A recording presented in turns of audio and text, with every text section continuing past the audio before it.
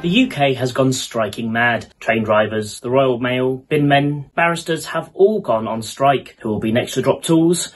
The answer is toilet attendants. I'm joined by Bob, a professional toilet attendant.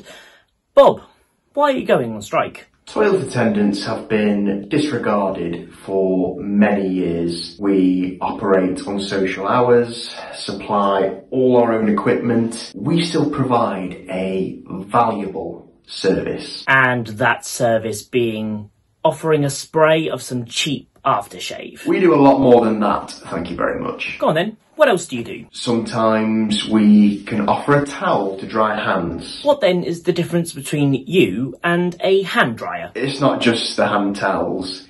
We can provide engaging chat. Can a hand dryer offer engaging chat? Why don't you give me uh, an example of the chats you offer? Well, our best known ones are No Spray, No Lay, No Davidoff, No Have It Off. Our most popular one is No Splash, No I have to say, Bob, I don't think people go to the toilet to talk to a stranger. They go to the toilet to empty their bowels. See, this is it again. A complete misunderstanding of our job and how vital our service is. How about this, Bob?